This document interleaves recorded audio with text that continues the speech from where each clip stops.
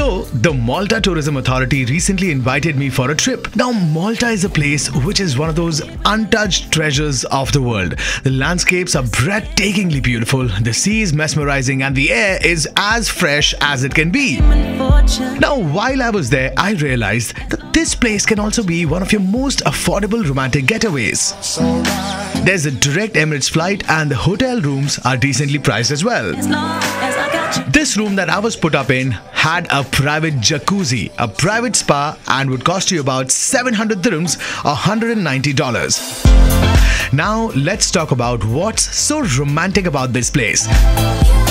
This gondola ride away from all the hustle bustle of Venice, there lies Valletta, an extremely serene place with really rich history.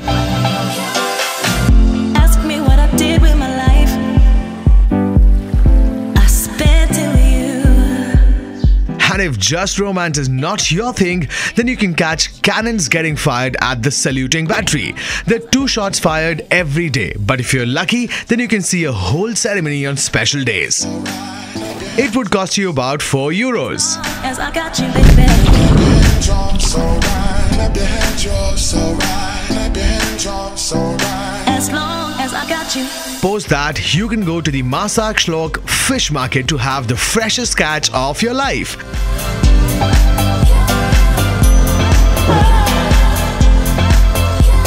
And if you're not much of a chef, then you can find restaurants in the countryside. We're going to eat food and we are at a very remote uh, place in Malta. I mean, how do you even give directions for restaurants like these? We had lunch at this restaurant called Rogantino. The service was really slow and I'm not complaining at all. After living in big cities, we're so used to food that gets served in minutes. But over here, things work a bit differently. We were in a small town called Rabat. It only had about 22,000 people, and the best way to spend a weekend over here is with your family. Hence, slow service is not really a bad thing.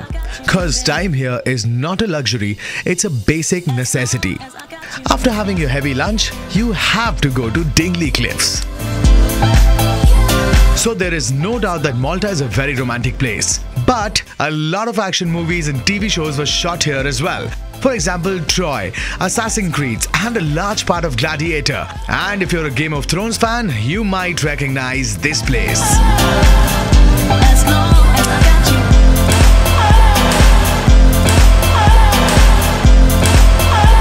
After knowing about all the movies shot in Malta, you have to go to the St. John's Cathedral. This splendid church was built between 1573 and 1577. I've been to a lot of cathedrals, but this one clearly takes the cake.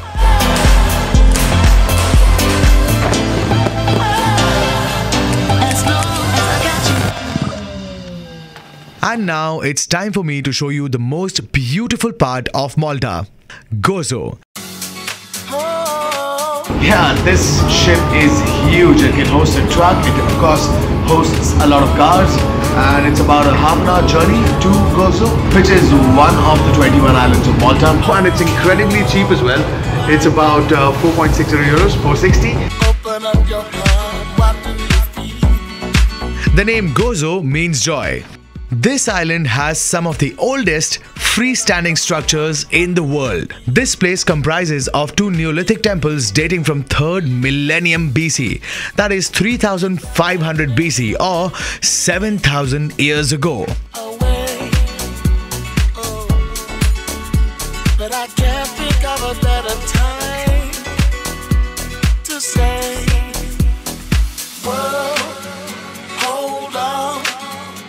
So we're at Gozo, and I found this really, really cute and really cool uh, place called Calypso's uh, Boutique. I've got this really cute lady with me. Her name is Vincenza, right? So, am I right that everything here is handmade? Handmade, handmade. Uh, the best part is everything is very reasonable. Like for for a sweater, for for for, a For sweater, 10 euro. 10 euros. That's it. And for let's say a tablecloth, A tablecloth, it will be like this one, it will be 20 euro. Sold down by hand. And can you show me your sweaters? That's a really good one. I'm sure that's handmade as well. I hope you get a lot of customers Thank after you. watching this. Thank you, thank you, Thank you. thank you. Thank you. Right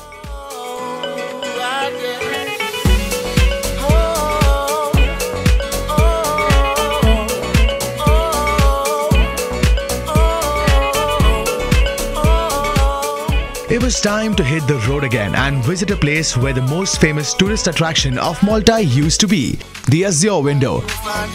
The Azure Window was a 28 meter natural arch and one of Malta's major tourist attractions. It sadly collapsed on the 8th of March due to natural reasons, but this place is still very beautiful. One thing is decided for sure Gozo is where I'm retiring.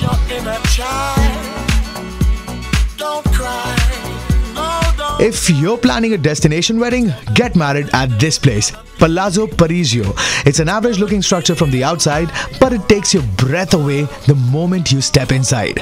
Even if you don't get married here, try the restaurant for great coffee. burn up inside. World, hold on. One day you Have a wish, lock it down at the Tigne Point in Malta. Visit Malta for romantic getaways, for natural retreats, or just for the love of traveling. One voice, one heart, love and unity. Now everybody. A big thank you going out to the Malta Tourism Authority for this trip. I come back home well fed and well traveled. See you soon with another video. Till then, happy wanderlusting.